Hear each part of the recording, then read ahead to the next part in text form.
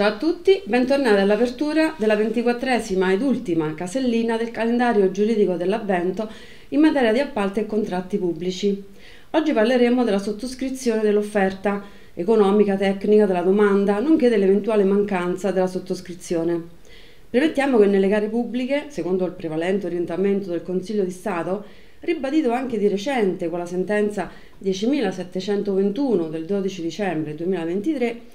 la sottoscrizione dell'offerta da parte di tutti i soggetti, quindi anche in caso di eh, raggruppamento temporaneo di imprese, sia da parte del mandatario che delle mandanti, soprattutto quando il raggruppamento non è ancora formalmente costituito e mh, il raggruppamento stesso presenta in gara eh, l'impegno alla futura costituzione del raggruppamento mediante eh, l'atto notarile.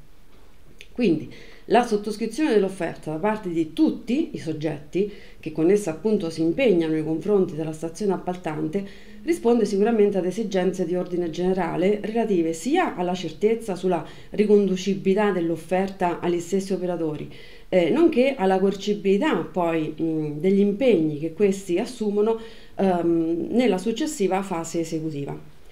Questo orientamento si conferma anche nelle gare telematiche atteso che eh, nelle gare pubbliche la sottoscrizione dell'offerta si configura come lo strumento mediante il quale mh, mm, diciamo, l'autore fa propria la dichiarazione eh, contenuta proprio nel documento.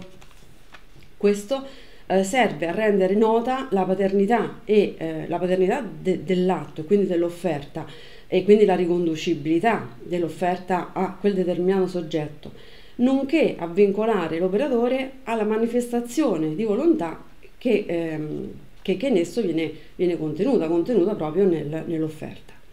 La sottoscrizione eh, diciamo, assolve quindi la funzione di assicurare eh, la provenienza, la serietà, l'affidabilità e l'insostituibilità dell'offerta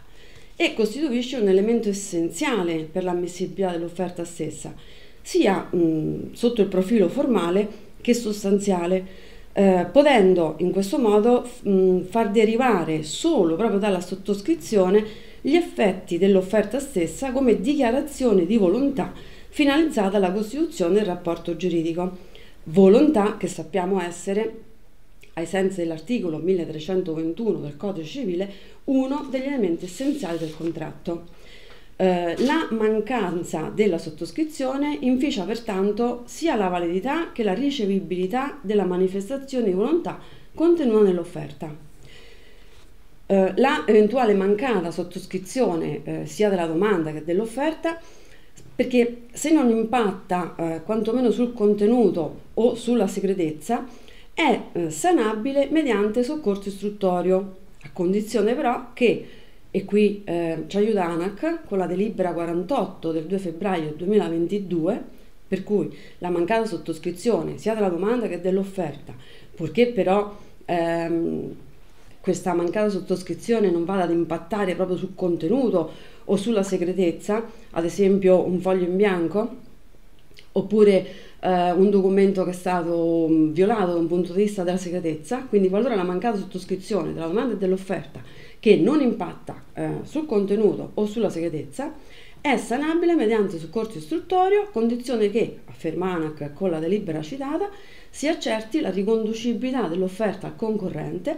in modo da escludere l'incertezza assoluta sulla provenienza, perché se eh, vi fosse incertezza assoluta sulla provenienza non sarebbe nemmeno possibile attivare il soccorso istruttorio.